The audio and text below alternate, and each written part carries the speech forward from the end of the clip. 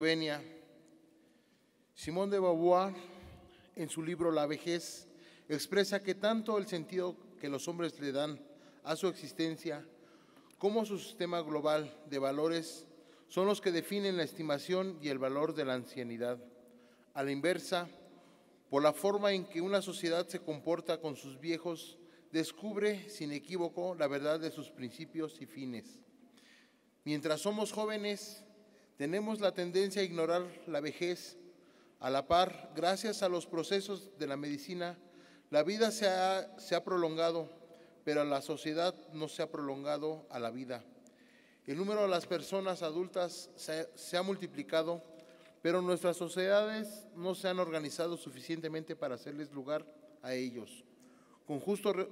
respeto y concreta consideración por su fragilidad y su di- dignidad. En la Ciudad de México, en el presente año, habitan mil- 1.365.774 adultos mayores, según datos proporcionados por la encuesta intercensal 2015, realizada por el Instituto Nacional de Estadí- Estadísticas y Geografía. Asimismo, el Coloquio Internacional sobre los Derechos de las Personas Adultas en 2019 detectó que el 40% de las personas arriba de los 68 años presentan dificultades de movilidad, así como el 60 mil de ellos presentan alguna situación de demencia, situaciones que representan un obstáculo para realizar trámites, sin contar la distancia y tiempo que estos demanden según la, ins- la ins- instancia o dependencia ante la que deban presentarse. El 7 de marzo del 2000 fue publicada en la Gaceta Oficial la Ley de los Derechos de las Personas Adultas Mayores de la Ciudad de México, la cual contempla en su artículo 3 la asistencia social, así como su protección ante desventajas físicas y mentales. En su artículo 5 que vela por el trato digno y apropiado, así como el apoyo de las instituciones en el ejercicio y respeto de sus derechos, además de una atención preferente por parte de esos organismos, y en su artículo 43 que insta a las secretarías y dependencias de la Administración Pública a garantizar la defensa de los derechos de las personas adultas y agilizar sus trámites y procedimientos administrativos a realizar.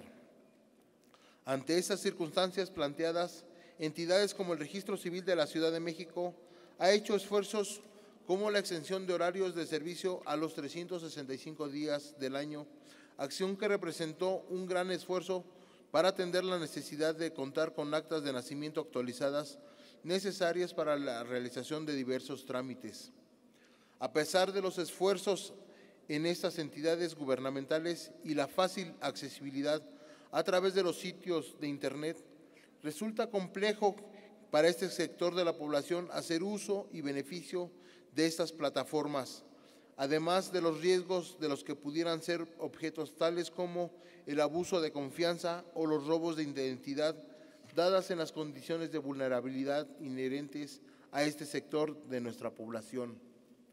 con la intención de apoyar el trabajo interinstitucional, así como brindar una atención especializada y accesible, comprendiendo las necesidades y vicisitudes de las personas adultas mayores. El día de hoy presento ante este Pleno la proposición con punto de acuerdo de urgente y obvia resolución por, la, por la que se exhorta respetuosamente a la Consejería Jurídica y Servicios de- Legales de la Ciudad de México, al Registro Civil y al Instituto para el Envejecimiento Digno de que inter- interinstitucionalmente colaboren de manera coordinada jornadas de atención a adultos mayores para la actualización de sus actas de nacimiento y su clave única de registro de población a través de jornadas móviles que se establezcan en las diferentes alcaldías de la Ciudad de México. Es cuanto, diputada presidenta. Gracias, diputado. En términos de lo dispuesto por el artículo 101 del Reglamento del Congreso de la Ciudad de México, consulte la Secretaría de la Comisión Permanente en Votación Económica si la proposición presentada por el diputado José Martín Padilla Sánchez se considera de urgente y obvia resolución.